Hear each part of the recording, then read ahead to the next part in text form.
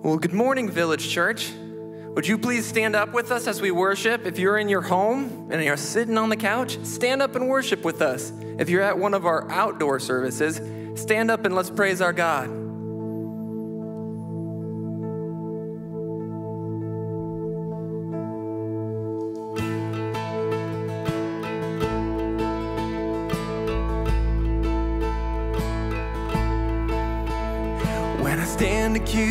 By my regrets, and the devil roars his empty threats, I will preach the gospel to myself that I am not a man condemned, for Jesus Christ is my defense.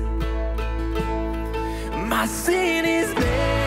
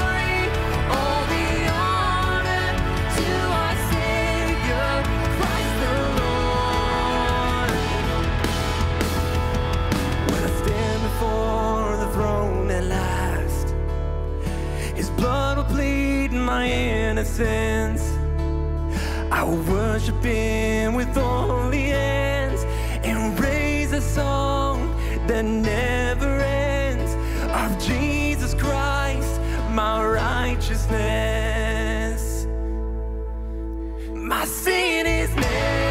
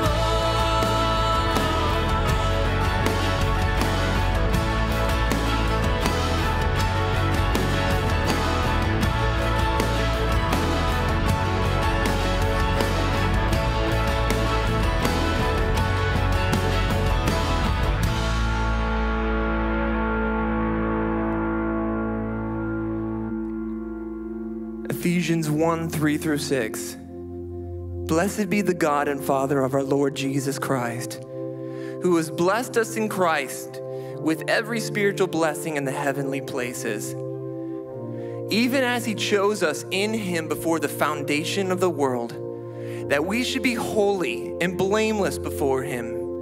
In love, he predestined us for adoption to himself as sons through Jesus Christ according to the purpose of his will, to the praise of his glorious grace, with which he has blessed us in the beloved.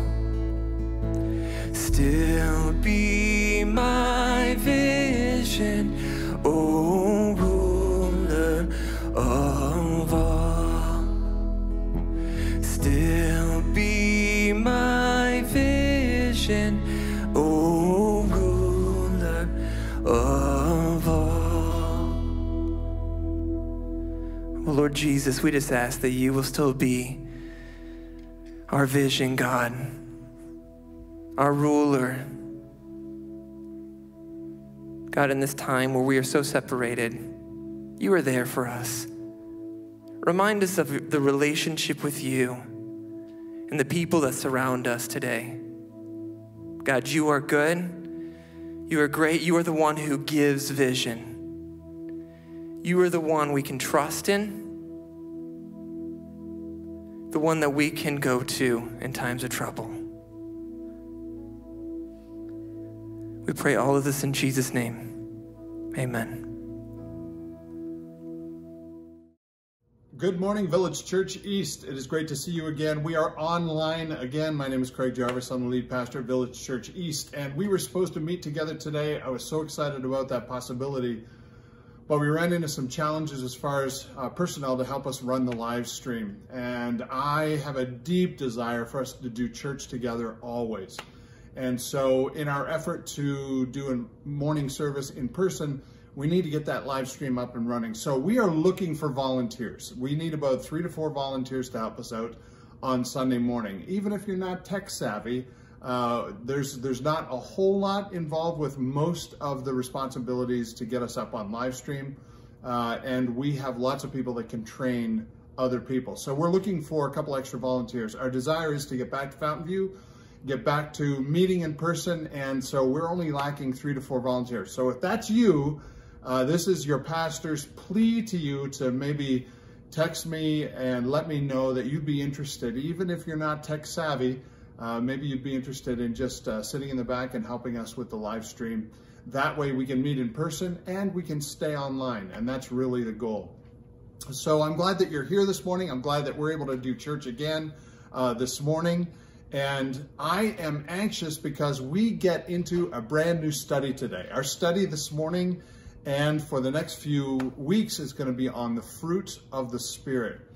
Have you ever met somebody that you thought looked holy or somebody that you thought was holy? Maybe they had a holy look to them. Uh, maybe they acted different. Maybe it's something that they wore that made indicated to you that this person was really kind of a holy individual lots of folks have a lot of different ideas about what it takes to make them look holy. And we kind of have an idea in our minds that in order to be holy, we got to be we got to be trying a little hard, doing something a little different. When I started out in ministry, I had one charismatic friend that sat down with me and he said, listen, Craig, you're starting out in ministry, and I got to tell you, if you haven't spoken in tongues, you are not holy.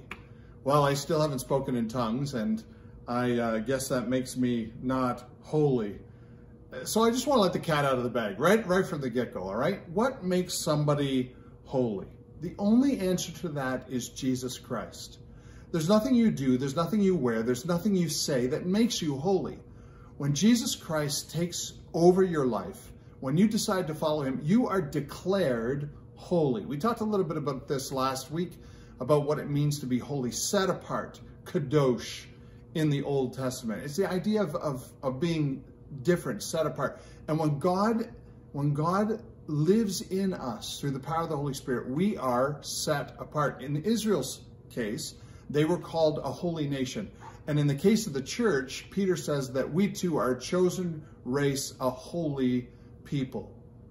There's a verse I want to share with you in Hebrews 2.11.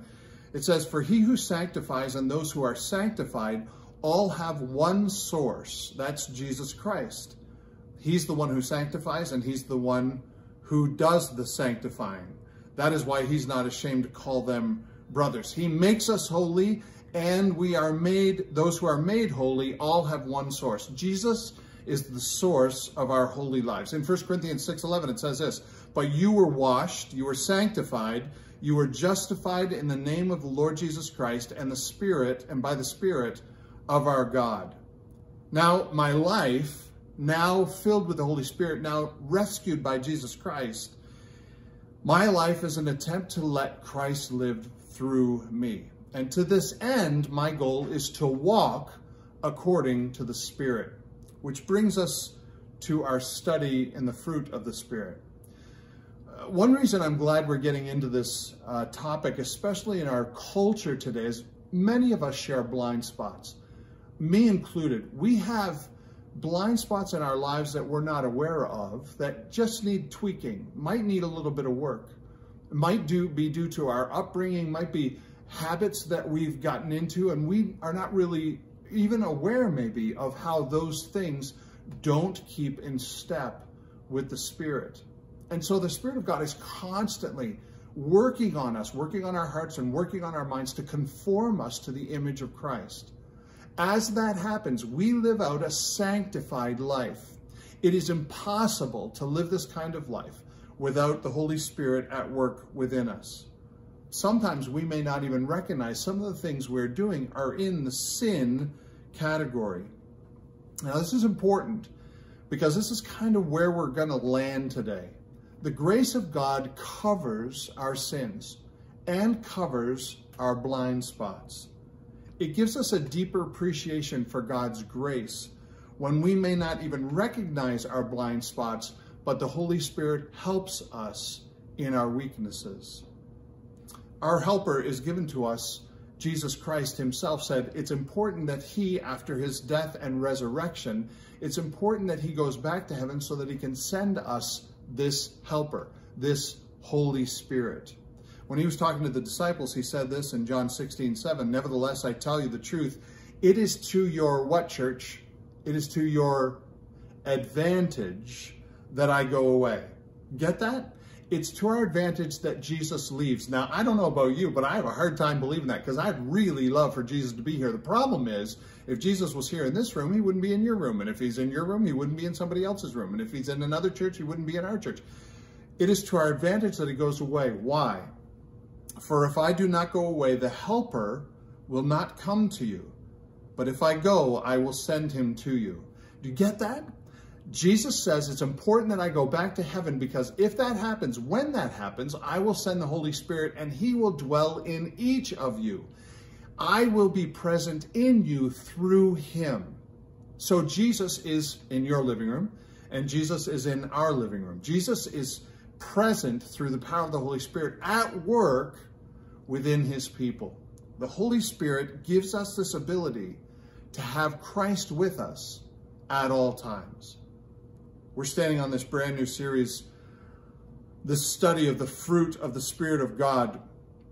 And uh, the, the, the crux of all of this is when we decide to follow Jesus, the Holy Spirit takes dwelling in us declares us holy and helps us to live in a way that pleases Jesus Christ, helps Jesus come out of us more, helps us recognize our blind spots more.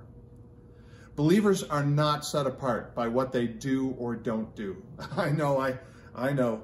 Uh, it's, it's, hard to hear that because we live in a world that says, ah, no, you got to be good. You got to be good to impress God. It doesn't work that way. Believers are set apart. They're holy, not because of what they do or don't do, but because of who lives in them. It's not because of their actions, it's because of the one who lives in us. He declares that we are holy. Remember, anything that God touches is made holy. Uh, holy sepulchre, a holy temple, holy ground. Remember, take off the shoes you're standing because the place you're standing is holy. Anything God touches is holy. And when God touches our lives and fills us with his Holy Spirit, we are holy ground. That blows me away. Because anywhere I go, I take Christ with me through the power of the Holy Spirit. And as I live for Jesus, the fruit of the one who lives in me begins to define me. This is what we mean when we say, by their fruits we will know them.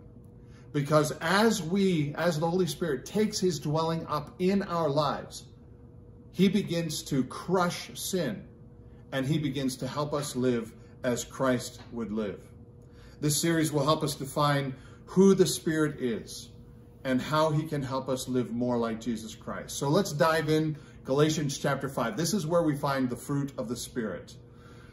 I want to start at verse 16, even though we're going to back up a little bit, but verse 16 is so crucial for us to understand. But I say, walk by the Spirit. Church, would you say that with me, please? Ready? Even no matter where you are in your homes, walk by the Spirit, and you will not gratify the desires of the flesh. Walk by the Spirit means keep in step with the Spirit. Now, I don't know about you, but uh, sometimes I'll go to church picnics, and one of the one of the most popular games at church picnics is the three-legged race. And whenever I do three-legged races with somebody, I, I always practice. I, we we tie our legs together, and we and, and we do a lot of practice because I'm in it to win it. I don't know about you, but that's what I play for. I play to win. So when we do three-legged race, I'm not just walking, I'm running. And so we practice. We tie our legs together and we practice and we practice. And if you don't stay in step with one another and you're cruising down to the end, uh, to the to the ribbon at the end, you are going to fall and you are going to tumble and you're going to fall out of step. The Spirit in the believer's life is there to help us keep in step. Keep in step with Christ. Surrender to keep in step with God's Spirit is our key to living like Jesus. This is all over Galatians chapter 5. It's all over the New Testament, but especially here. Verse 16, it says, live by the Spirit. Verse 17, the Spirit teaches us to live what is contrary to the sinful nature. Verse 18, we are led by the Spirit. Verse 22, we are to exhibit the fruit of the Spirit. Verse 25, we live by the Spirit. Verse 25, again, keep in step with the Spirit. Matthew Henry says it this way, the best antidote against the poison of sin is to walk in the Spirit. I want to talk to you this morning about how that happens in our lives. It is not a matter of trying harder. It's a matter of surrendering so that we keep in step with the Spirit of God. All we can do is demonstrate over and over in our lives that we can't do this on our own. We can't be holy. No matter how many times we go to church, no matter how many penance activities we do, no matter how many good actions we do, all we demonstrate time and time again is we have this inability to remain holy. So God gives us a solution. He gives us his spirit. His spirit makes us holy. Christ died for me to make me holy. Christ lives in me to make me free. Uh, when is the last time you heard somebody in church declare that Christ has died to set you free?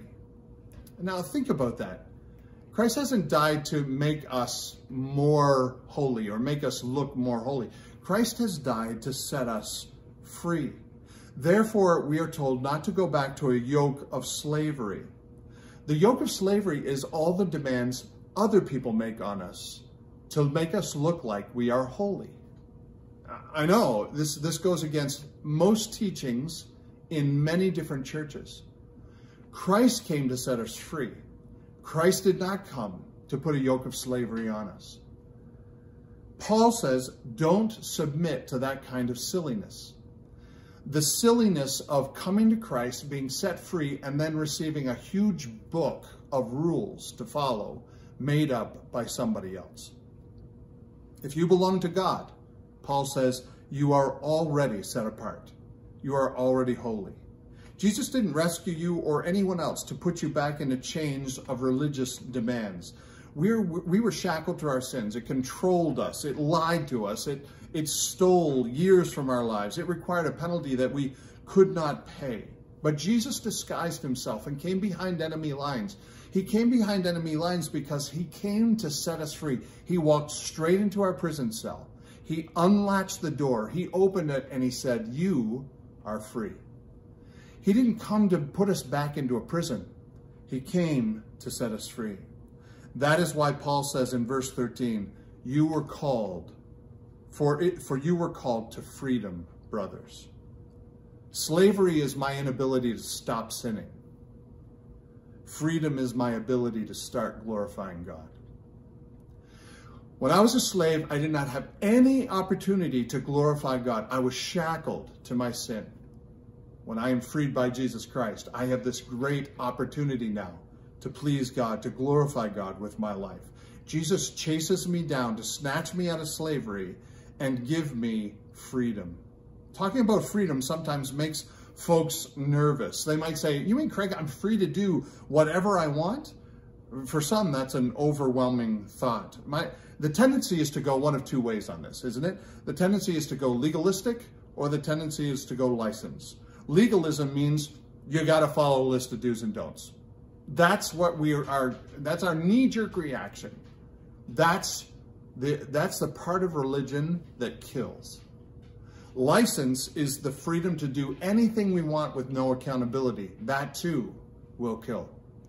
You see, if the pendulum goes too far on the license part, you're going to destroy yourself. If the, if the pendulum goes too far, uh, far on the legalism part, you're going to destroy yourself and you're going to destroy others. Now, Paul expects us to be mature about some things. Later on in the, in the passage in verse 19, he says, listen, we already know the works of the flesh are obvious. It's like, do I really need to write these down for you? But he does. He says the works of the flesh are evident. We're not free to do these things. Sexual immorality, impurity, sensuality, idolatry, sorcery, enmity, strife, jealousy, fits of rage, rivalries, dissensions, divisions, a bad list, envy, drunkenness, orgies, and things like these. I warn you, as I warned you before, those who do such things will not inherit the kingdom of God. Uh, he's saying, let's be mature about this. You're, you're not freed in order to go back to this prison of debauchery. You've been rescued from these things. You, you, you didn't have a choice. Before you had to sin. Now you've been freed to have the ability to glorify God in the way we live our lives. To have the ability to have the hands of Christ, the heart of Christ, the eyes of Christ to all those around us. But what about the gray areas? And this is really a part of life for Christians that we struggle with because all of us have gray areas. Well, should I do this or shouldn't I do this? It's not really spoken about in the Bible. This is where Paul is landing in Galatians 5. He says, walk in step with the Spirit and you'll not gratify the desires of the flesh. You will sit down and think to yourself, mm, is this okay for me to do? And if it's okay for me to do, why would I want to do it? What is my motivation in doing this? And we begin to analyze all the things that life throws at us through the eyes of a mature believer, somebody that's keeping in step like a three-legged race with the Spirit of God. Now, this might shock you, so I'm glad you're sitting down. Cancel culture, the culture in which we live, says you should be free, but steals your freedom. Cancel culture is about taking away your opinion and your freedom. Christ culture is about giving you freedom and letting you have your own opinion. Christ has come to set us free. Now, the world will tell you, well, religion won't set you free. We will set you free. But we're finding out now that their freedom is based on popular vote, loudest voices, whatever hill they want you to die on. And if you don't agree with them, they'll beat you down. You see, cancel culture is about taking away your opinion and taking away your freedom while telling you you are free. Christ is about setting you free indeed. Culture demands conformity. Christ releases us to freedom. Freedom is not only the ability not to sin, but the ability to glorify God at any moment with whatever I've invited into my life. That's a good statement. Now the warning. Paul goes on to say, only don't use your freedom as an opportunity for the flesh, but through love serve one another.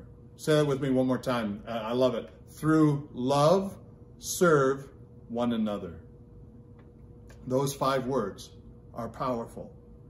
We have been freed so that we can love enough to serve one another. For prisoners who are set free, the temptation is to use their freedom crazy to, to, to go crazy when they come out of prison. But our freedom was purchased by Jesus' blood for a reason. And the reason is, now that I'm free, the reason is Jesus wants me to live like he lived. Jesus wants me to continue his mission. He tells us what his mission is through love, serve one another. In, fact, it goes in verse 14. The whole law is fulfilled in one word. What is that, church? You shall love your neighbor as yourself. Jesus set us free to continue his mission in the world. And what is his mission? Matthew 20, 28. Even as the Son of Man came, not to be served, but to what, church? To serve and to give his life as a ransom for many. To serve to the point of death. Jesus set believers for, free for the same reasons, free to serve one another in love. In fact, in 1 Corinthians 13, it says, These three remain faith, hope, and love, but the greatest of these is love. Love means letting go to let God work in you and in others in his own time. love is the ability. It means letting God do his work in you and others in his own time. Now, for those of you that know me, you may know that I love to fly fish. I, it's my Sabbath. It's, uh, it's something that I enjoy doing. It clears my mind. It gives me a lot of time to pray. And uh, sometimes I take some friends along with me, some family members. Uh, yeah, you see that, that, cute little girl right there. That's Abigail with a fish. Uh, I love fly fishing. I love sharing that with others. I want to tell you something about fly fishing though. When you're fly fishing in the river, free land is at the bottom of the river any ground that is covered by water is free. No one owns that property. But the minute you touch land, somebody owns that. Now it could be it could be the government owns it, it could be private property, but somebody owns that land. Sometimes where there's no restrictions on the land, there is chaos. There's garbage everywhere. You'll see pop cans and unkept ground and rotting animals that have been eaten by other animals and eh, Sometimes you'll come across ground that is just uncared for. And sometimes you'll come across other ground that has private property posted all around it. No one's allowed, the minute you get out of the water, you are breaking the law. They are strict about their private property and there are signs on every tree. Don't get near those parts of dry ground. Now consider, if you would, if you were in a place fishing and each side of the water was different, let's say the left side of the water was used by everyone. It had cans and garbage and fly line laying all over the place. And if you stood on that shoreline, you would, you would have a tendency to kind of join in the chaos. You'd think to yourself, nobody's keeping this up anyway. I'll throw my water bottle down here. I'll throw my fly line down here. Nobody really takes care of it. I'll just join in the chaos. Discard your fishing line, nobody will ever notice. While on the other side of the river, on the private property sign, where the fines will hit you if you cross over, if you wander too close to that shoreline, you think to yourself, well, seeing the other part of the river, this sounds reasonable. It should be private property. They should charge a uh, fine for people to go on this. I wouldn't want these disgusting fly fishermen on my property either. Look how beautiful and ornate this part of the river is on this side. But you could also, if you own the property, say, yeah, I'm not like those vagabonds on the other side of the river. That's chaos on that side of the river. My side of the river is pristine. Nobody on that side of the river should ever come on this side of the river. And the tendency is to condemn the people on the other side for their lack of rules, while the tendency of people on the other side is to condemn you for being too strict. While the waterway is free, on one side is legalism, and on the other side is license. Walking with the Holy Spirit means giving grace to let others walk with the Spirit of God at their own pace. And the minute you start judging those on the shoreline is the minute you begin to resent them. You look at people on the shoreline of the chaotic side and you resent them for their craziness. And you look at people on the other side and you resent them for their private property signs. And the danger is you begin to resent each other when you get too close to either shore. Verse 15 says, This is when we begin to bite and devour each other. If you bite and devour each other, watch out that you're not consumed by one another. You see, we have a very judgmental attitude when we go on the side of legalism, and we have a very judgmental attitude when we go on the sign, side of license. Walking in the freedom of the river and letting others walk in the freedom of the river and wander around closer to one side or the other is what it means for Christ to set us free. The last thing Jesus would ever want us to do is to bite and devour people on one side or the other of this river, the ones who are closer to either shoreline. And we should be careful because when we judge the other person, we have a tendency to hit the log in our own eye. The key is to walk in the river and let others walk at their own pace. Some are going to be closer to the shore of legalism.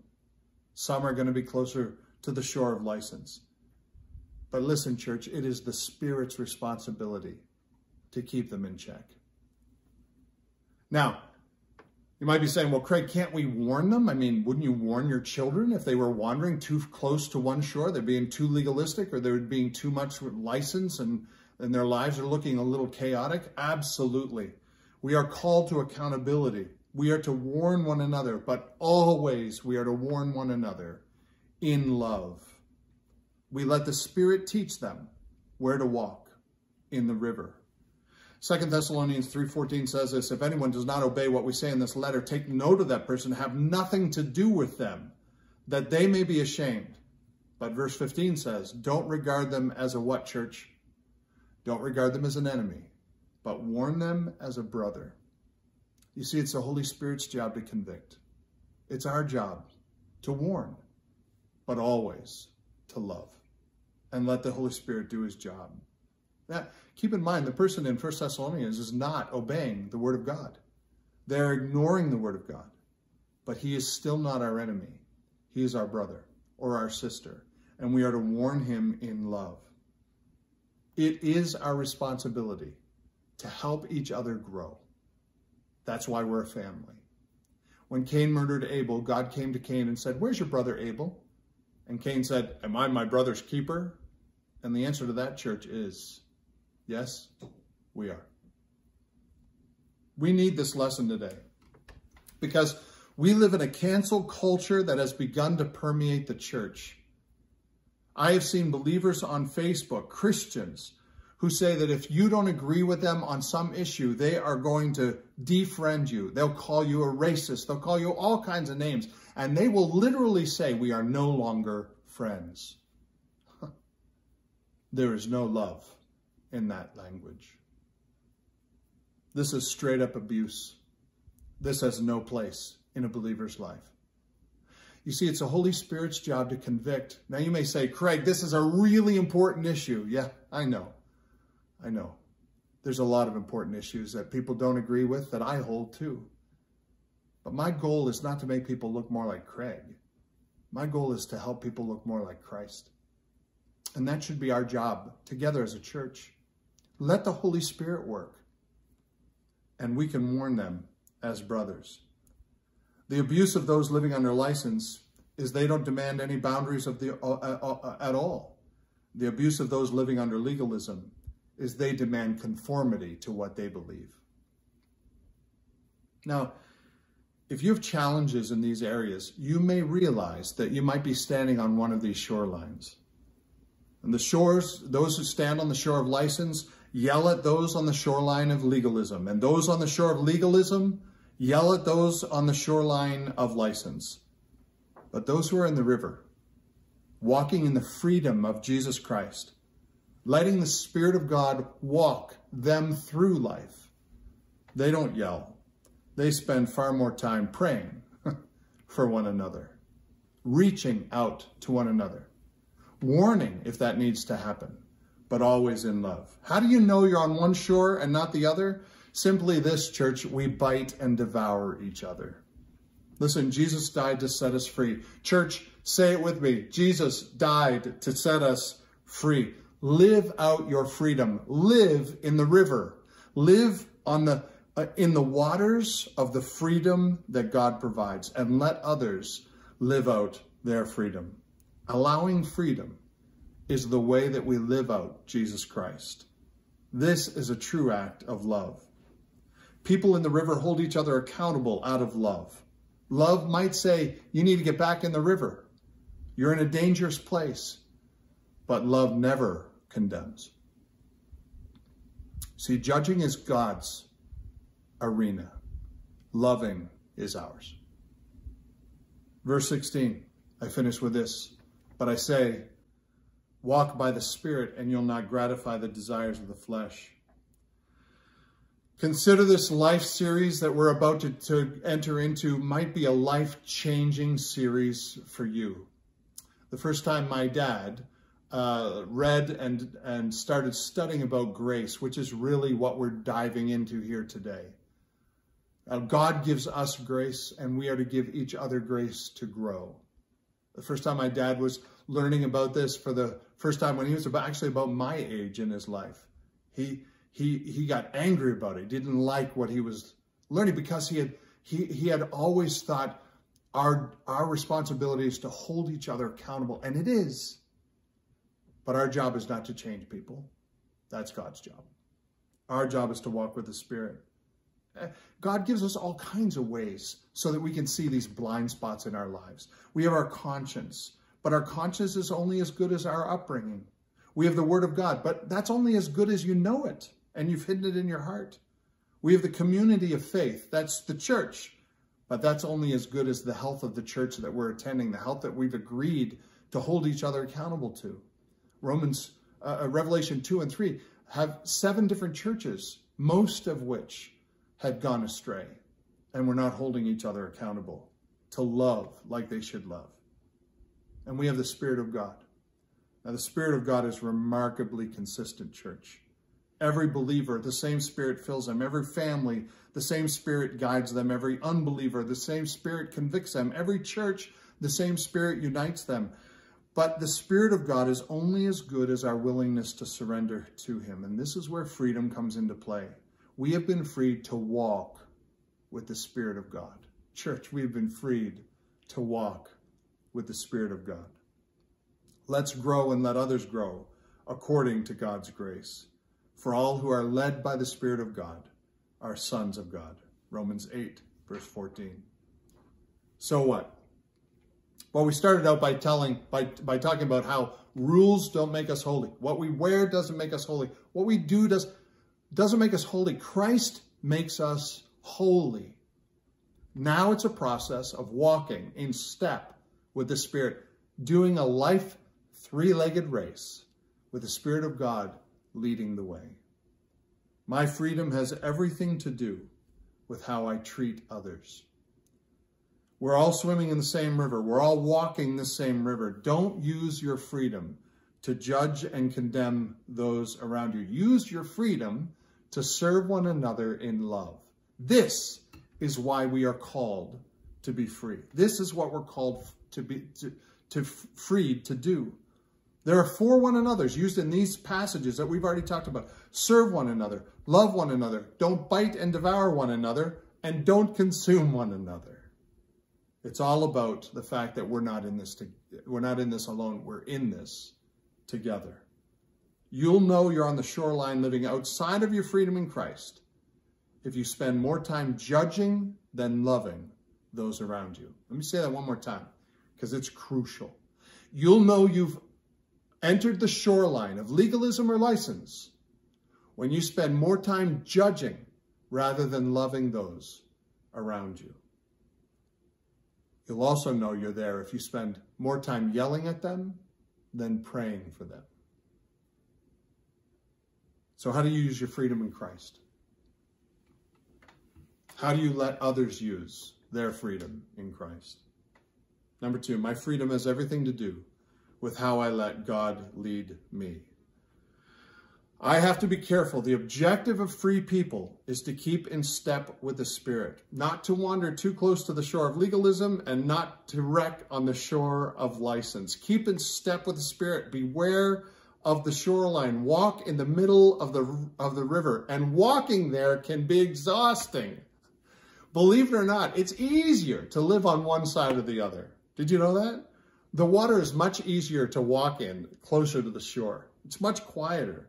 The current is much less demanding. The stress on our footing is much less emotionally exhausting. Do you know why people sometimes love being legalists? It's much easier to check a box and say, this makes you holy, this makes you holy, this makes you holy. It's easier to check a box than to live in the freedom and let others live in the freedom that Christ has called them to live in. Legalists crush love. They say, you must become who I want you to be or we can't have a relationship. Do you know why some people abuse license? They declare that they don't have to listen to anyone else. God is leading them and they don't have to pay attention. There's no compelling reason for somebody who is on the shore of license to reconcile or to ask for forgiveness or to find personal submission to a brother or sister.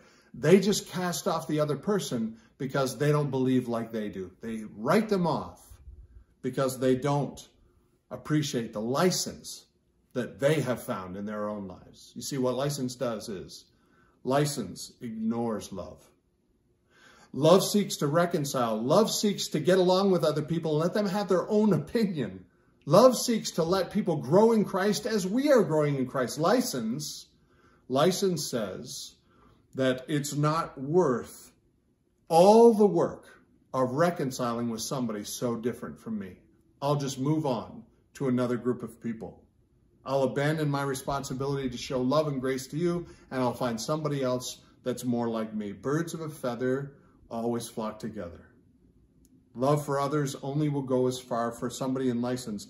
When it impedes on my freedom, license means I don't have to try anymore. But there's a third one. Freedom promotes love. Freedom is found in the River Church. The whole law is fulfilled in one word. You shall love your neighbor as yourself. Don't judge. Love. You do your job. Let's let the Holy Spirit do his. Pray with me. Father, I thank you for this passage in Galatians that is so, so chocked full of meaning. And I pray, Father, that as we have spent some time now looking at what it means to live in the freedom for which you've called us to live in, help us, Father, not to judge one another.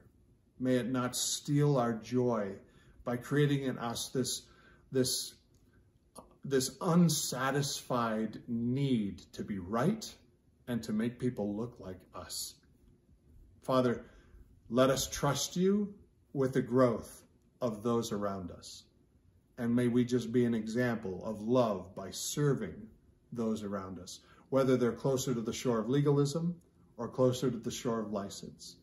May you use our love to penetrate through and may we all as your church realize the freedom for which you have set us free. Thank you for giving us this ability to love and serve one another, freed from our jail cell, free to be you, your hands, your feet, your eyes, your heart to those around us. May you use us to change this generation.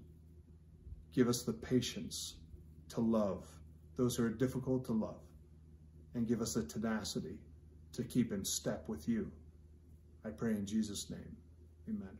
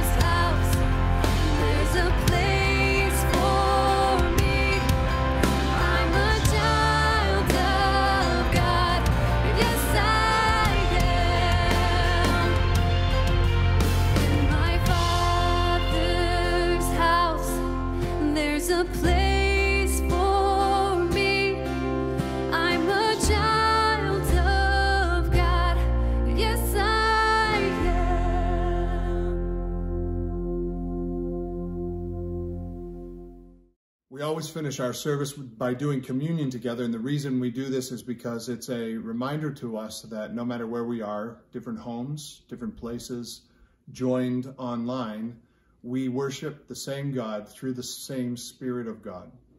The Spirit of God is a gift to us that makes us family. He is what gives us this incredible ability to worship God. It is His presence in our lives that makes us family. And uh, in the verse that I read earlier, it is it is because of this family that we have the ability to call Jesus our brother. I always get blown away by that verse. Like, He is pleased that we call Him brother. I, I'm comfortable calling Him Lord. I'm comfortable calling Him Savior. But in Scripture, we get to call Him brother. Why? Because the Spirit of God joins us together as family, makes us one. We are adopted as sons and daughters into the family of God. And so when we come to communion, that is what we celebrate. We celebrate our ability to have communion with God through the power of the blood of Jesus Christ and the body that he gave us on the cross. And we have the ability to fellowship with one another as brothers and sisters because that blood applied to our lives makes us family. And so I read for you 1 Corinthians chapter 11, starting in verse 23. This is the passage that we read before we come to our communion time uh, together. And I read this for you once more again this morning. Oh, let me give you a minute. If you uh, don't have your communion items, run and get them real quick right now. Uh, we are using whatever is available in our homes. So if this is your first time joining us for communion, sometimes we use crackers or I think I got a cookie today. We use whatever we have in our homes. And uh, it's not the thing that makes us holy. It's not, we don't drink and that makes us holy. We are holy because Jesus has already made us holy. We take the bread and the cup as a reminder to us that Jesus' death on the cross, his death applied to our sins, makes us holy. Jesus makes us holy, not the bread, not the juice. So with that understanding, let me read this to you. 1 Corinthians 11, verse 23. For I received from the Lord what also I delivered to you. The Lord Jesus, on the night when he was betrayed, took bread. And when he had given thanks, he broke it, and he said, This is my body, which is for you. Do this in remembrance of me. In the same way, he also took the cup after supper, saying, This cup is a new covenant in my blood. Do this as often as you drink it in remembrance of me. For as often as you eat this bread and drink this cup, you proclaim the Lord's death until he comes. And so, church, I would like to, with you, eat and drink, and in doing so, proclaim the Lord's death, which makes us family until we see him again face to face. Would you eat and drink with me?